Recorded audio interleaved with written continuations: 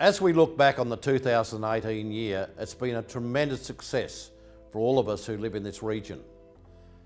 Our gross regional product has gone through the $10 billion mark and beyond. Our growth has been 4.5%, building on 3.6 over 10 years. This provides, provides enormous stability in our region. It's the breadth of our economy and the strength of the investment there is here that is driving this community. Council also maintains its Queensland Treasury Corporation financial rating as sound with a neutral outlook. Good economic management allows us to reduce debt despite rising costs, and this keeps costs down for each and every ratepayer. A well-planned and maintained infrastructure system is critical for success. Council recently opened the Boundary Street part of a $50 million upgrade that will see the completion of Mort Street upgrade early in the new year.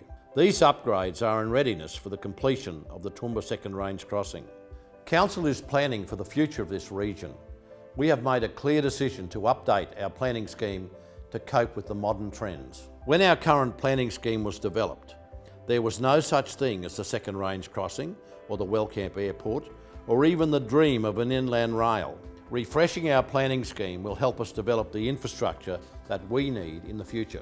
Each year we welcome more and more visitors to the Toowoomba region. Part of the attraction to our region is the world-class gardens that make us Australia's garden city. This year the Australian Tourism Awards again recognised the Carnival of Flowers as the best national major festival. We are proud of our reputation as a region that cultivates the best parks and open space that can be found anywhere and we will continue to build on this. Our region was successful in becoming an internationally accredited safe city.